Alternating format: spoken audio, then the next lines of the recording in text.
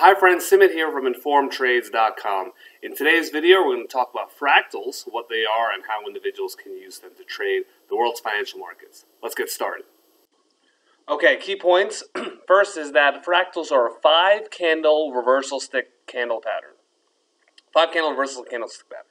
Uh, second is that they are a lagging indicator a bit, so they're uh, they're a little late to the game.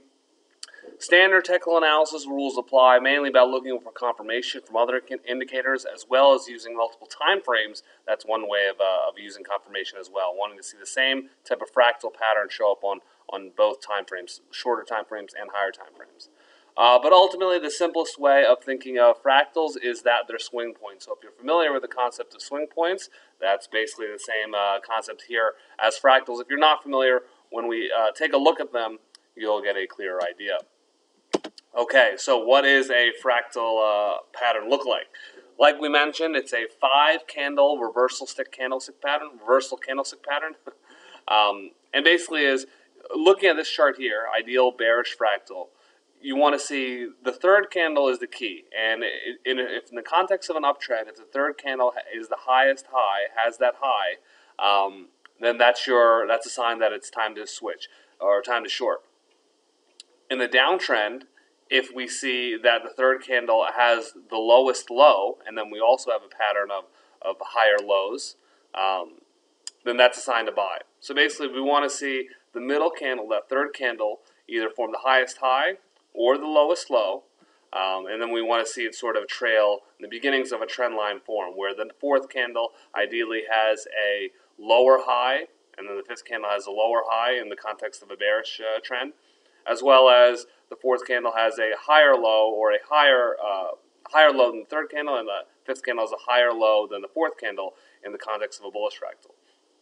So here you can also see it a little more clearly here. You know, we're going up. Imagine also in a if we're in an uptrend, that's where it's a reversal. So it's even more powerful if you see an uptrend.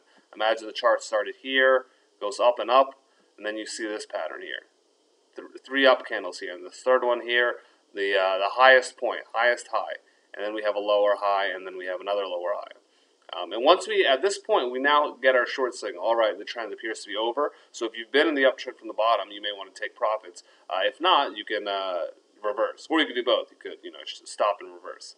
Um, and the same, you can see this concept here. You know, highest high, the two candles before and the two candles after are lower. Lowest low, the two candles before and two candles after are higher. And that's our key. So it's a swing point, basically. You can identify this looking at the candles before and the ones after it. This is a key turning point in the market. So in terms of actually trading this, here's a really nice example. And we see it bouncing off the 50 uh, simple moving average. So that's another sign. That ties into the idea of wanting to look for confirmation. Uh, so we see the market goes up against 50 candle, 50 simple day moving average. We have a fractal pattern. We can confirm the fractal pattern here. And then if we had a stop order or we had an entry order to sell at at the uh, on a pullback to the 50 simple moving average or even on a break below these candles here. Um, that sort of gives us a, we have a big move down. We could potentially take stop or take profit or move to break even here at this low. Uh, you know exactly where to exit is dependent. Some people will trade fractals. You know you, you enter one fractal and you exit when you see another fractal. So we have another fractal here in that here's a low it's it's just barely higher than this low here, um, but we can exit when we see that too. So that's one way of, of trading it. Another fractal. Um, here's our, you know, here's this box, as you can see, contains the five candlesticks. This third candlestick has the lowest low, right?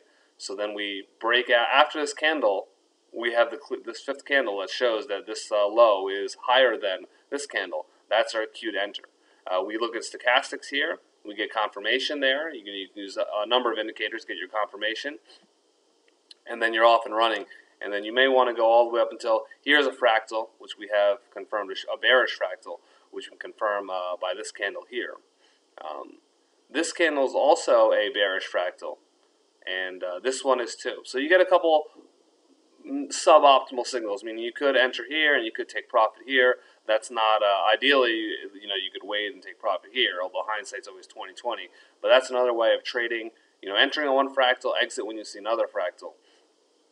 Um, that's sort of one way of looking at it. You know, also looking at other indicators and seeing when's the true, ha- identifying, knowing the risk reward you want to target, and as well as your exit strategy.